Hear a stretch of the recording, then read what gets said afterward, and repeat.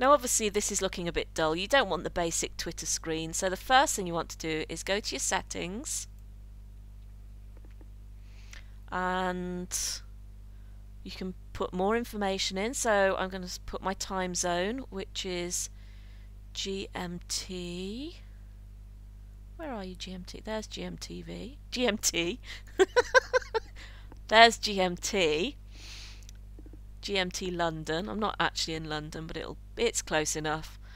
Uh, more info URL. So, do you have a homepage or a blog? If you do, then type it in. One line bio. So, write something about yourself. Something that will make people interested in following you if, for example, you're on here and the main thing is to keep in touch with your customers or to find new customers, then write something engaging. Don't make it a sales pitch. Just write something that makes people want to know you as the person. So give me a moment and I'll think of something.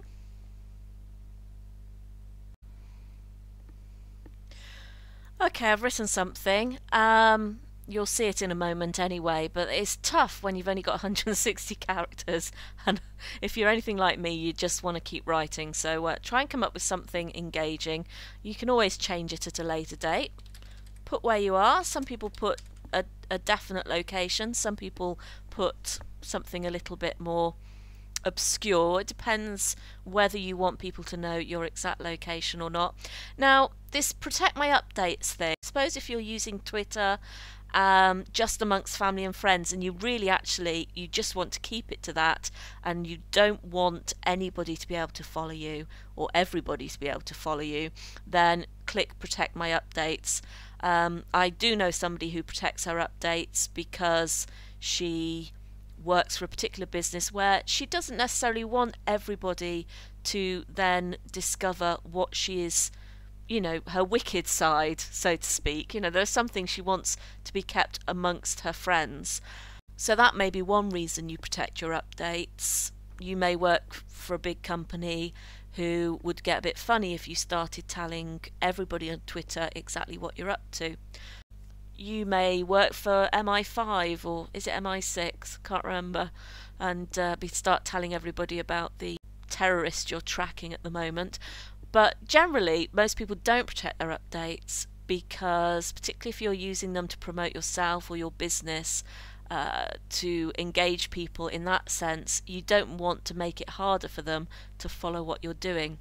But if you do put protect my updates, you have to simply approve people who want to follow you, so you can select which ones follow you and which don't. So I'm not going to protect my updates, I'm going to click save. And finally for this video, I'm just going to show you how to add a picture and change your design. Let's do design first. Now, I'm not going to go into great detail about these things because you can change your background image and upload one of your own. You can change your design colours. So if I was to click change background image, browse for an image I want to use and you can do it that way. If you click change design colors you can change the actual colors of your page. Um, if you don't understand what the different colors are then just do a search online for color palettes and it will give you these details. Uh, usually you'll find the details there but I'm just going to pick one of the general ones quite like that one. So let's click that one Let's save the changes there. So my background has now changed. And I think it's important to change these things, particularly your picture, because people are more likely to follow you back or engage with you if they have a picture.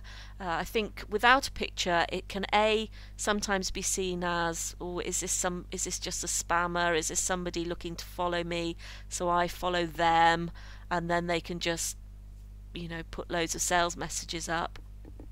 But also, it works better if people can see your face, they're going to engage with you more. So let's pick our picture. Click Browse, and this will take you into your documents. You need to find a picture of yourself that you like.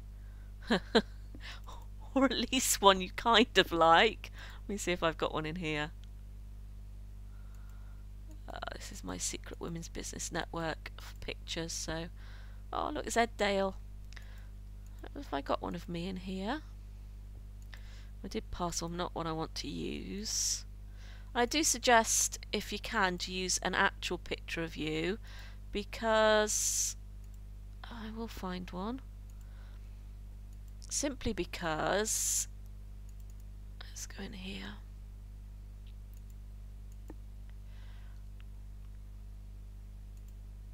It's nice to see the face. Even if you don't like your face, everybody else likes to see nice, friendly face. They don't see the flaws that you see in yourself.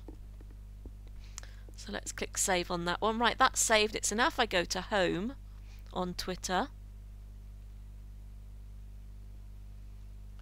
You can see my picture is on. My first message is on there, my first tweet. That means I've made one update. And if I go to profile, you'll see what everybody else sees when they click on your profile.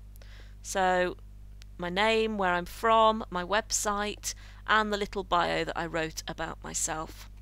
That's it for this video. I shall teach you a few more basics of Twitter in the next video.